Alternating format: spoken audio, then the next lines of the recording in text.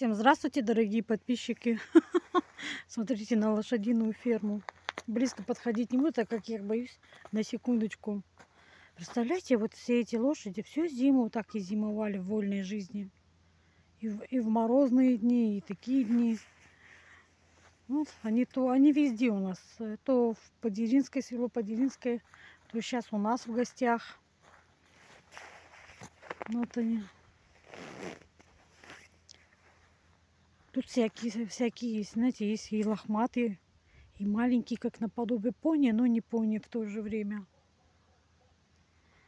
Вот где-то какая-то рыжая должна быть мамка.